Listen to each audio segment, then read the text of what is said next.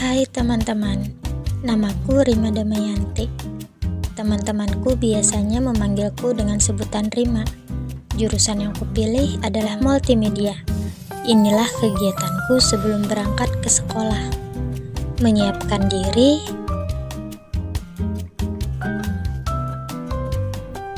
setelah itu sarapan,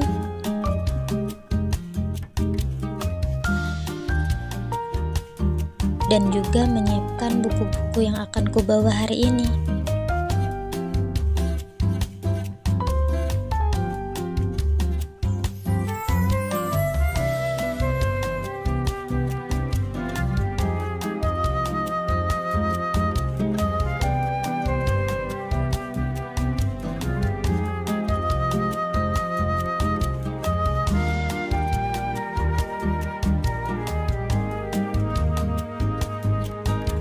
Tentunya tidak lupa aku bersalaman dengan orang tuaku.